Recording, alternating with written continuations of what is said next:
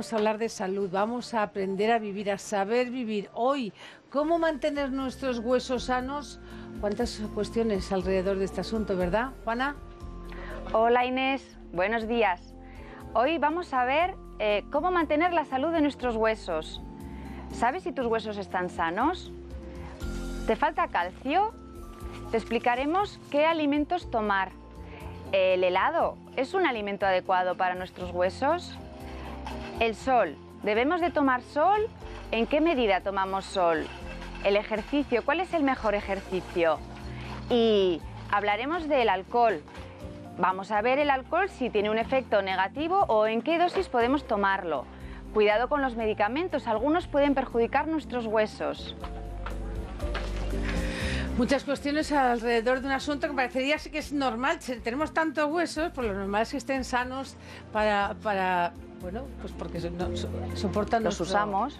Los usan, pero los usamos mucho y se desgastan, ¿verdad que sí? Un poco, con la edad. ustedes, con la edad. Ay, a mi madre dice, es que la edad no tenemos que cosas malas, también los huesos se desgastan. Bueno, vamos a dar la bienvenida, aparte de Juana María, quien ustedes conocen ya, que es nuestra, nuestra nutricionista de cabecera. Eh, damos la bienvenida a la doctora Marta Correa, que es ginecóloga del Hospital Universitario de Canarias, que está en Tenerife. Vamos con lo primero, los huesos y el helado de leche.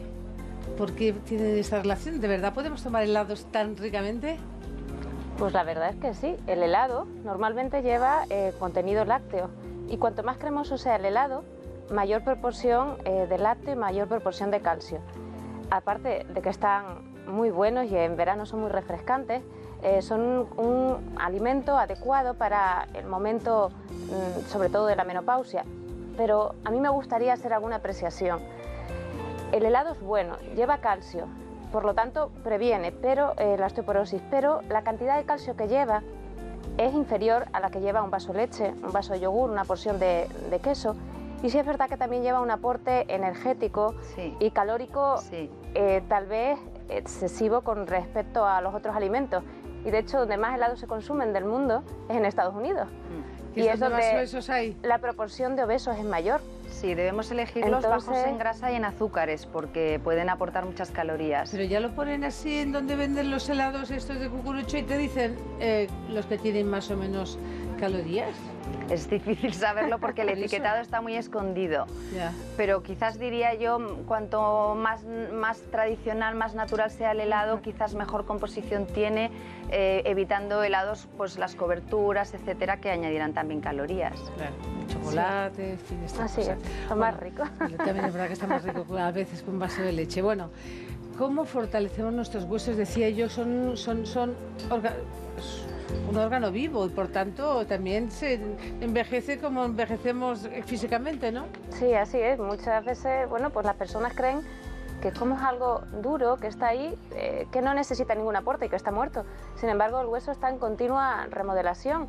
el hueso mm, pues se forma y se destruye pues cada dos, cuatro semanas y para todo eso se necesita nutrición y un aporte energético ¿Se adecuado. cada dos semanas? Se destruye, concretamente la destrucción tarda solo de dos a cuatro semanas y la formación de dos a cuatro meses.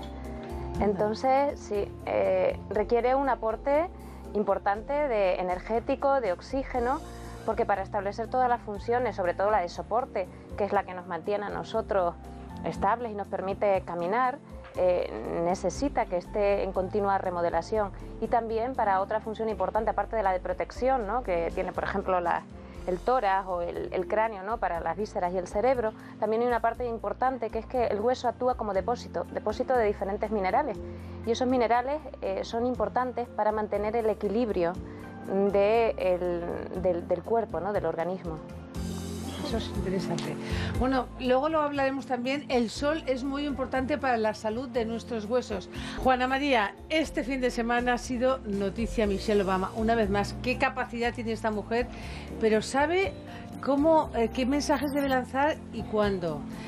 Ha dicho públicamente, esta mujer sabes que hace una campaña mm, para erradicar la obesidad en Estados Unidos de lo que estábamos hablando. Se reúne con niños y eh, les da como una charla para mentalizarles que hay que comer sano. Bueno, pues les ha prometido a estos niños, atención, que va a dejar de comer patatas fritas. Pero mira si debe ser su devoción por las patatas fritas que el marido que estaba al lado decía, ya me extraña. ¿Por qué son tan ricas y por qué son tan malas? Bueno, efectivamente, Michelle Obama en su deseo de promover una dieta saludable, eh, lo que ha reconocido es que las patatas fritas son su debilidad y públicamente ante un auditorio de niños de todo Estados Unidos, en una reunión que lo que quiere es fomentar hábitos de dieta saludable entre los niños, ha, cogido el compromiso de eh, decir que durante un tiempo va a evitar comer patatas fritas que son su debilidad. Cada uno tenemos la nuestra propia y hace falta un poco de esfuerzo. Eh, en concreto, bueno, pues eh, la patata frita es un alimento que es alto en grasa y rico en sal. cuando freímos una patata, lo que hace es eh, perder agua y ganar grasa, con lo cual las patatas fritas pueden tener 400 o 500 calorías por cada 100 gramos, mientras que una patata cocida, que las tenemos aquí, las patatas cocidas, eh, aportan 90 calorías y no tienen sal, son ricas en potasio y son un alimento mucho más sano. Por eso nosotros comemos todos los días las papas arrugadas de aquí de Canarias. Claro. ¿Verdad que podemos? Bueno, menos mal. Bueno, ¿sabes por cierto? Es que vaya, vaya hábitos de alimentación que tienen los americanos porque, porque el presidente Obama... o sea, Michelle ha dicho que su debilidad es las patatas fritas, pero ¿sabes cuál es la, debilidad del presidente? Dime. Los nachos con guacamole. Dice que se puede, loco, se puede comer boles y boles y boles. Es que de verdad, Pues ¿eh? no está tan mal, porque hay niños, por ejemplo, en Estados Unidos que no conocen las verduras ni saben de dónde vienen. Bueno, pues está delgadito, él está delgadito, por lo menos, se debe hacer buen ejercicio. Hace ejercicio. Bueno, eh, eh, eh, ah, eso es el producto canario, que todos los días nos propusimos destacar un producto canario. Aquí. que es? Sí. ¿Cuál? Hoy es la almendra. Ah, vale, vale, pensaba que estabas hablando... Vale, vale. Sí, las, las almendras eh, son un alimento propio de la tierra canaria. Sí. Em, la almendra eh, es un alimento rico en fibra, rico en vitamina E, eh, es antioxidante, además tiene grasas insaturadas, con lo cual nos ayudan a, mejorar el colesterol. Y en Canarias sus usos eh, son, por ejemplo, eh, utilizarlo en guisos o en postres, o postres, por ejemplo, como el bien me sabe, que se hace con miel y yema de huevo. Y bueno, pues también se pueden garrapiñar y la verdad que tienen muchos usos y es un alimento muy saludable. Casi nada, Rico en calcio. de las calorías de las garrapiñadas, aunque están muy ricas. Bueno, estamos hablando eh, con, nuestra, con nuestra experta en, los problemas de los huesos. Dicen, doctora, que, que eh, en los años también pasan por la forma de nuestro cuerpo. Dice que ese es el primer síntoma de que podemos tener ya principio de osteoporosis. ¿Cómo, lo, cómo, ¿Cómo hay que mirarlo? Vamos a ver. Es cierto y no. Todos los abuelitos nos dicen que ya él no medía, o que ellos no medían lo que eran de joven, ¿no? Y que iban menguando. Y de hecho muchas abuelas dicen, es que yo coloqué los cero aquí pues cuando, cuando llegaba, pero es que ya no puedo colocar los platos. O sea, es una realidad que con los años... Menguamos. Sí, sí, sí, se pierde altura pero eso es debido a dos mecanismos fundamentales. Uno, eh, que los discos, que son eh, cartilaginosos y que existen entre vértebra y vértebra, tienen un gran componente en agua. Un gran componente en agua que además permite la flexibilidad de la columna y eh, evitar que una vértebra roce con la otra. Pero con el tiempo esa turgencia se pierde. Entonces, al perder agua, disminuye altura y por lo tanto va a contribuir en la disminución, de la, en, en aumento de la curvatura de la espalda. Pero el segundo mecanismo son las fracturas, fracturas vertebrales. Fracturas vertebrales que lo que ocasiona es que vayan eh, provocándose aplastamientos y vértebras en cuñas que también contribuyen a esa curvatura aún más, a, la jiba o la joroba que, tienen muchos, muchos ancianos. exacto. Sí, sí, sí. Pero claro, es un signo de osteoporosis, un signo de osteoporosis, pero ya avanzada totalmente. Lo ideal no es descubrir la osteoporosis en este momento, es una enfermedad asintomática, no duele y por eso muchas veces tardamos en diagnosticarla. Pero cuando ya llegamos a este punto es tarde. Lo que habría es que prevenirla y descubrirla mucho más precozmente. ¿Y cómo? Pues fundamentalmente... Con la eh, dieta. Con la sí, dieta y el prevenirla sol. sí, pero a la hora de descubrirla, ¿te refieres? El- existen muchas pruebas, hay incluso eh, índices como el índice de FRAG, que lo que miden son riesgos, probabilidades de fracturas. Eh, se hacen también ecografías, radiografías, escáner, pero ninguna de ellas es la más adecuada. La mejor prueba es la densitometría ósea. Ahora enseguida nos explica usted en qué consiste lo de la densitometría ósea, pero vamos a atender una llamada de Zoraida desde Santurce. Hola, buenos días. Hola, buenos días. Enhorabuena ¿Qué, por tal? el ¿Qué programa. temperatura tenéis? Eh, muchísimas gracias. Zoraida, ¿qué temperatura tenéis hoy por ahí? Mejor, ¿no? ¿Ha mejorado este fin de semana? Un poquito más Bastante fresquito. bien, sí, fresco y está la temperatura muy agradable. Qué No sé exactamente qué Sí. temperatura hace, pero está bastante agradable y está despejado. Qué bien. Bueno, pues adelante con, con la consulta, Zoraida. Sí, yo quería preguntarle a la doctora, tengo 45 años y hace un tiempo vengo con un dolor en la rodilla izquierda y ya estoy en la fase de, de la menopausia. Quería saber si se debe a eso y qué, qué recomendaciones me puede dar la doctora. Pues venga, vamos a escucharlas. Vamos a ver, lo más probable es que tu dolor no sea debido a la osteoporosis. La osteoporosis no duele y por eso es una enfermedad que cursa de forma silenciosa y tan difícil de concienciar a nuestra población, pero que precisamente no causa dolor. El dolor cuando eh, ocurre ya es porque existe una fractura. Lo más probable que te ocurra es que eh, se deba ese dolor a eh, artrosis, que son cambios también degenerativos que ocurren en las articulaciones con el tiempo.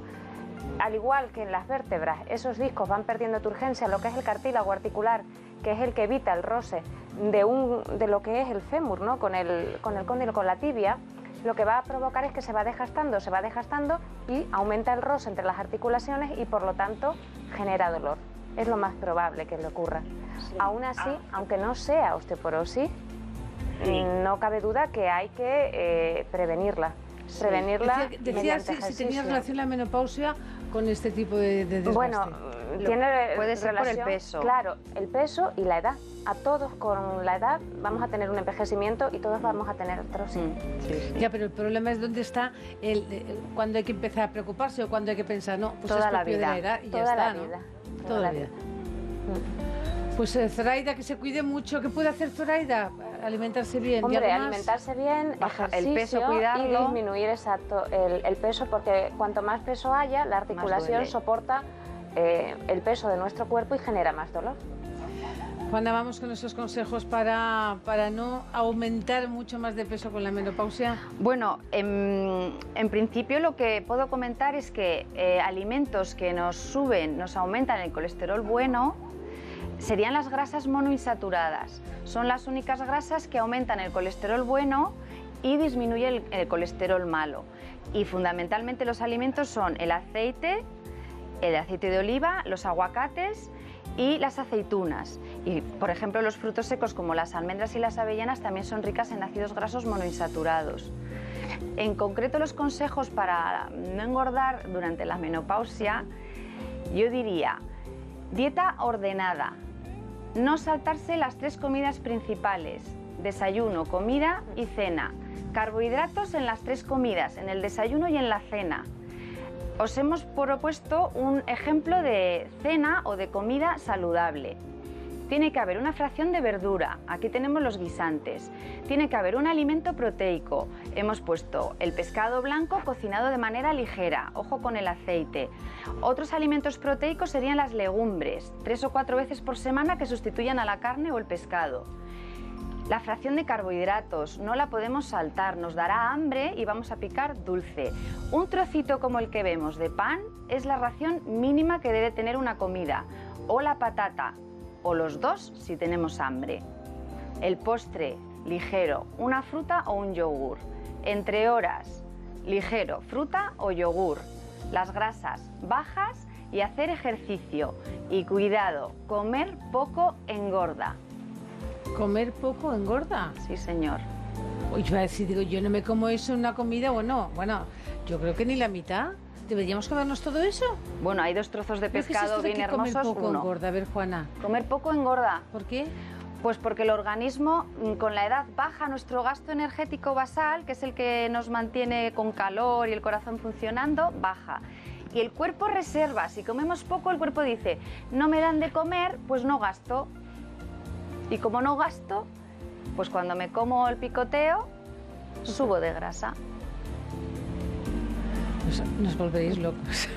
pero bueno, es un poco raro, pero es, que es lo que pasa. Tiene todo, el sentido del mundo. Muchas mujeres te dicen, yo ceno una fruta y un yogur y estoy engordando. Claro. Y es por eso. Hay que comer las tres cosas que hemos mencionado. Ah, hemos quedado, doctora, eh, doctora Correa, la densitometría es la mejor manera de saber la calidad de nuestros huesos, ¿no? Sí, señor. ¿Cada cuánto es recomendable? ¿Para qué población? sí, vamos a ver. La densitometría es una prueba radiológica. Primero lo que querría destacar es que es indolora. Y aunque sea una prueba radiológica, la cantidad de, radiación que se recibe es mínima. Es un décimo de eh, la que uno recibe cuando se realiza una radiografía de, de toras, por ejemplo. Son pocos minutos los que hay que estar, entre 10 y 30 minutos, y eh, se puede hacer de diferentes zonas. Eh, las dos más importantes es la columna lumbar y el fémur. Son las dos localizaciones que para la clínica revisten mayor importancia. ¿Cada cuánto?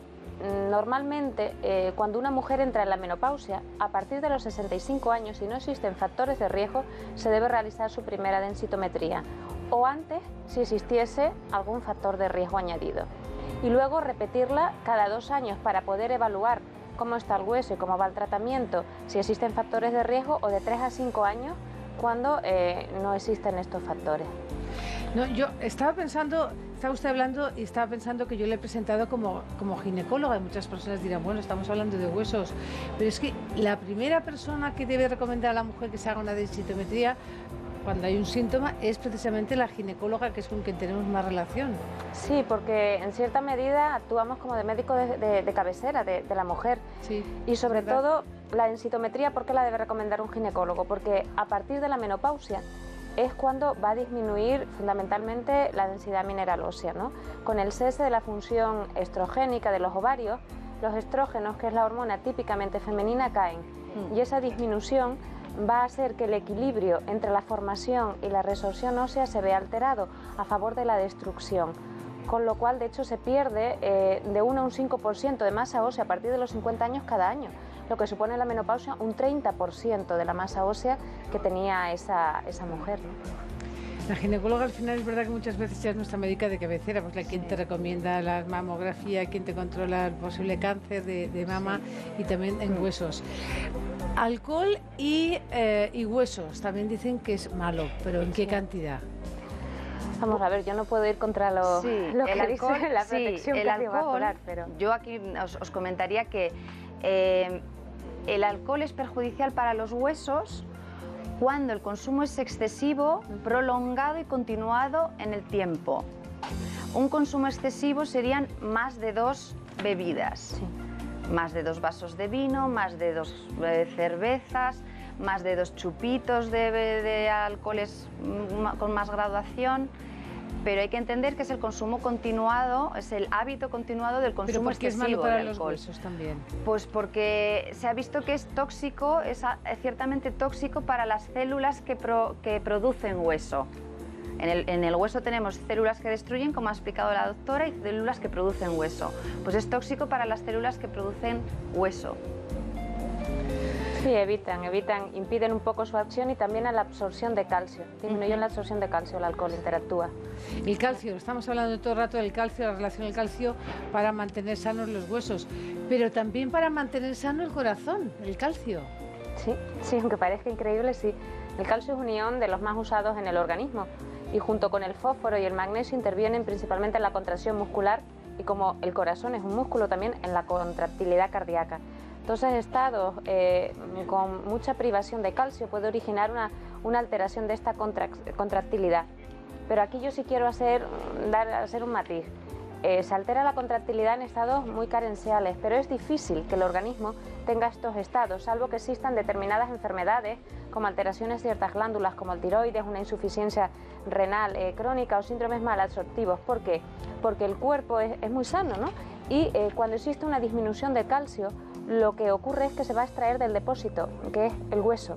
Lo libera y entonces lo que va a promover es que se mantiene ese equilibrio o esa homeostasis que llamamos los médicos a nivel del, organismo para impedir que se altere la función cardíaca.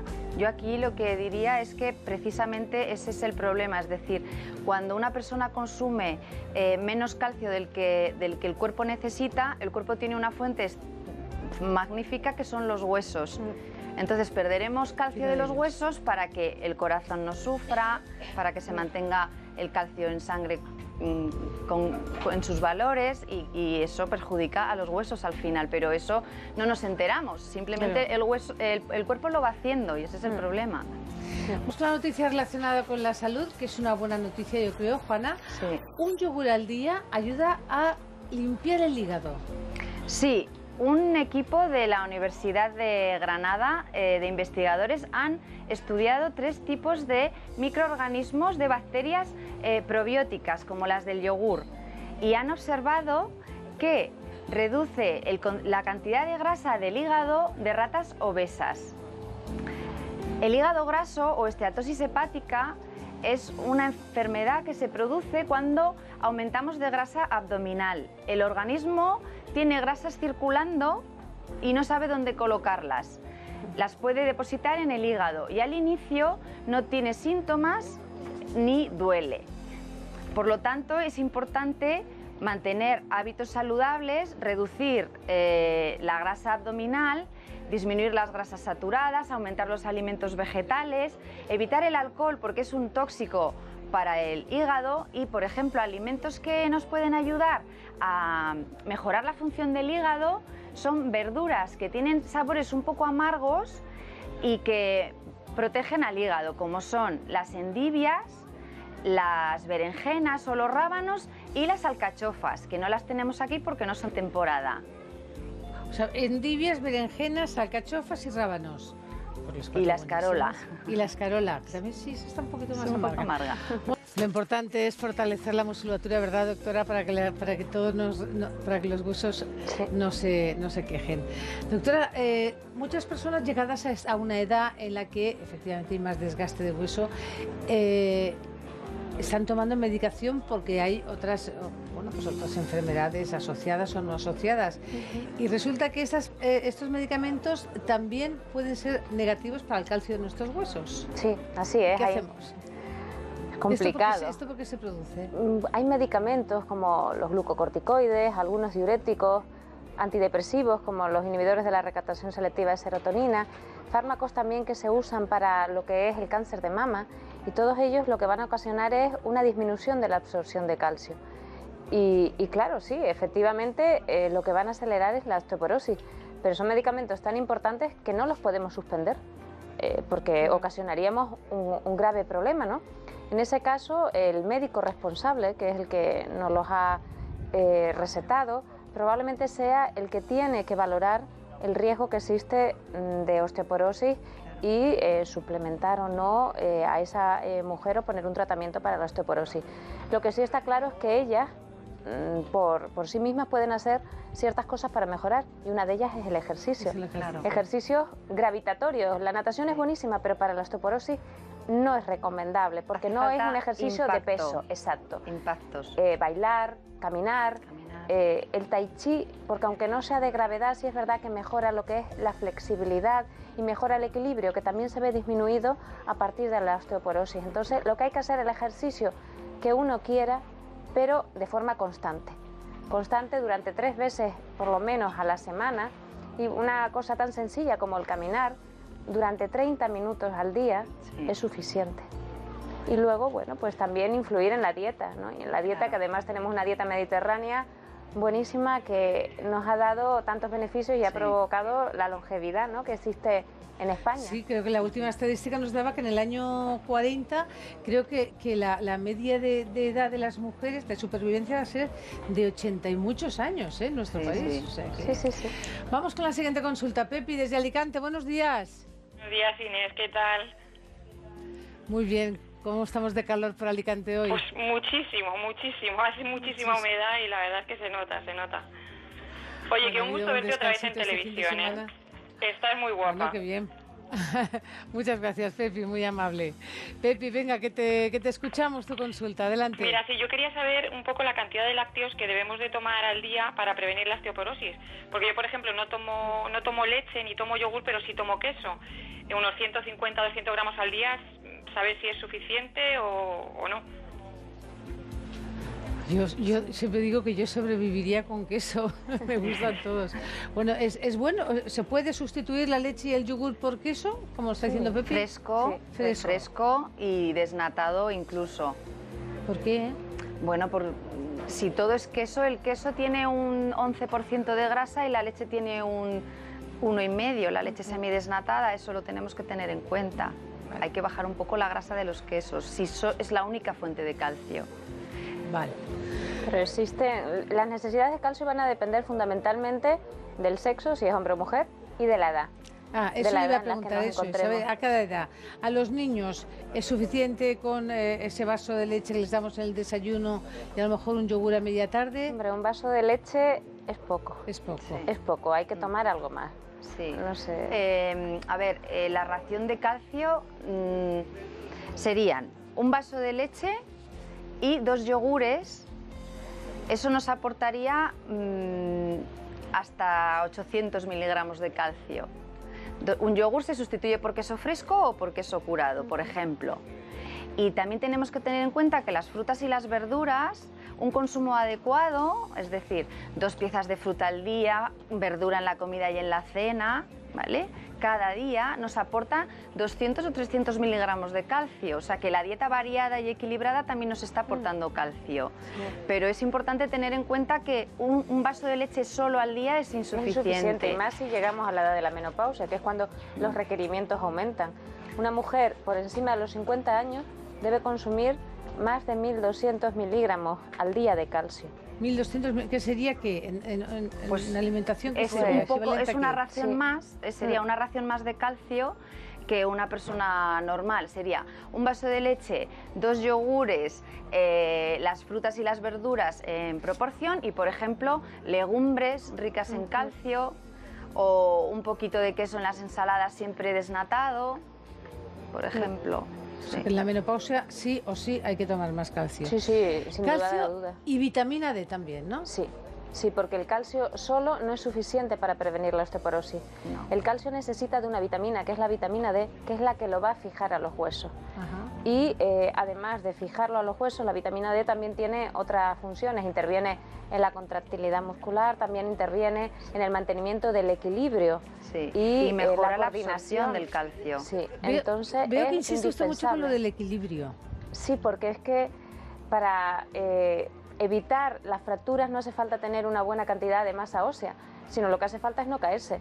No caerse, es. llevar zapato adecuado, no llevar las chanclas o Sí. las cholas que decimos en Canarias, Sí. eh, intentar evitar quitar las alfombras, pues si uno eh, padece de la vista, graduarse bien lo que son las gafas, todas esas cosas que parecen tan tontas son las que muy a menudo van a precipitar las caídas y las que originan a lo largo fracturas. Pero también son se, cosas pero se dicen también que a veces no es que se caiga y se rompa el hueso en las personas de edad, sino que al revés, se rompe el hueso y por eso se cae. Son No. las mm, Bueno. No, vamos a ver. mm, Eso intervienen otros factores y otros eh, problemas a veces o cardiovasculares o también de, de riego, ¿no? No está relacionada. En La, la fractura fundamentalmente es o fracturas por fragilidad, que son en el caso de la osteoporosis, que son ante traumatismos mínimos, una- toser, por ejemplo, estornudar, y ahí es porque ya existe un problema añadido o por caída, fundamentalmente por caída. Sí.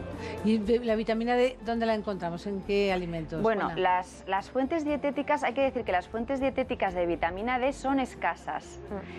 Eh, la grasa láctea nos aporta vitamina D, por eso vemos aquí un vaso de leche y vemos el queso, que lo comeremos en la ración adecuada, que son 30 gramos si es curado.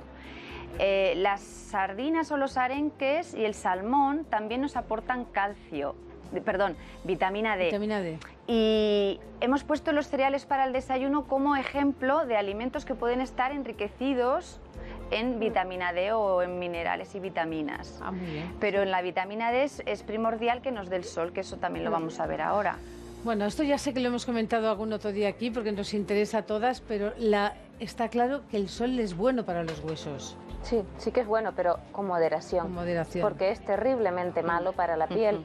Provoca el cáncer de piel, el melanoma, el vasocelular o el epidermoide y también envejecimiento. Entonces, el sol en su justa medida. Sí. Para la síntesis de vitamina D es eh, suficiente con la toma del sol durante 10-20 minutos sin fotoprotector. Sin, sin ah, fotoprotector, ah, es si no, no se sintetiza. Ah. Y yo siempre pongo el ejemplo de los pescadores. Los pescadores, ¿qué hacen? Se remangan lo que son eh, los pantalones y las camisas. Entonces, no hace falta una exposición total al sol. Simplemente con tomarlo en brazos, piernas y cara es suficiente.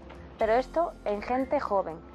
A partir de la menopausia también existen problemas para la síntesis de vitamina D, con lo cual probablemente en una mujer de más de 50 años va a ser insuficiente que tomando el sol eh, tenga el suficiente aporte. Aparte que aunque vivamos en un país como España, eh, tenemos un gran déficit de vitamina D con respecto a otros. Pensamos que es un problema de los países escandinavos que no da el sol, Antes ¿no? sí. Porque es que aquí nos tapamos. Sí, aquí nos cuando hace sol tapamos. lo primero que hacemos es Sí. o ponernos debajo de una sombrilla o un sombrero. O vamos o- de casa al coche y del coche a la entonces eso no es oficina. bueno. Si, si no has tomado 10-20 minutos al día. Claro, te no. falta radiación. Más no, ¿eh? Más no. O sea, con 10-20 minutos al día 10-20 sería bueno, eso es minutos. suficiente. eh, los achicharramientos, eso. Huesos. No, No, no, eso no. O sea, Eso lo de no. vuelta y vuelta, no, No, eso no, bueno. eso no. Pasear por la calle, ir andando al trabajo, por ejemplo. Y además así promovemos también ese ejercicio Ese gravitatorio ejercicio, de eso carga es. que previene eh, la osteoporosis, ¿no? Bueno, ah, aprenderemos a cuidar nuestra dentadura. Sí, mañana hablaremos de nuestros dientes. ¿Qué nos produce molestias en la boca? Las caries. ¿Nos dan problemas al masticar? ¿Dientes sensibles al frío o al calor? ¿Las caries siempre duelen? Veremos también alimentos que nos fortalecen los dientes y veremos eh, las consecuencias de que nos falte alguna pieza. Bueno, pues muchas, muchas cuestiones interesantes.